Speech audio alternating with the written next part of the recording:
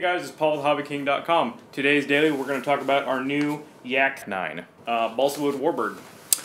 Like I said, this model is all balsa wood. It comes with this nice uh, plastic pre-printed covering that has uh, panel line and rivet details on it. Uh, makes for a really nice looking sport model. Now this model uh, comes from the factory with fixed gear, though it is retract ready, so it'd be real easy, easy to drop in a set of our electric uh, retracts. Uh, you will need a four channel radio or five with retracts.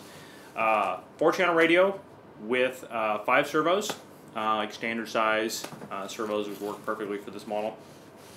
It is set up for a glow engine, a 46 size two stroke or a 74 stroke.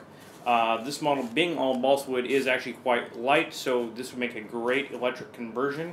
There is also this nice hatch on the top of the fuselage, so you could actually access your battery, or if you fly this as nitro, uh, access your fuel tank. Now, this model has a 1520 millimeter wingspan and is 1237 millimeters long.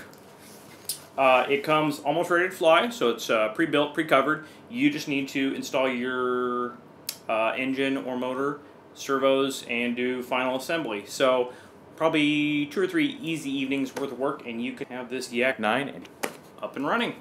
So be sure to check it out on the new products page, and be sure to check out our YouTube channel for all of our other great daily videos. We'll see you next time.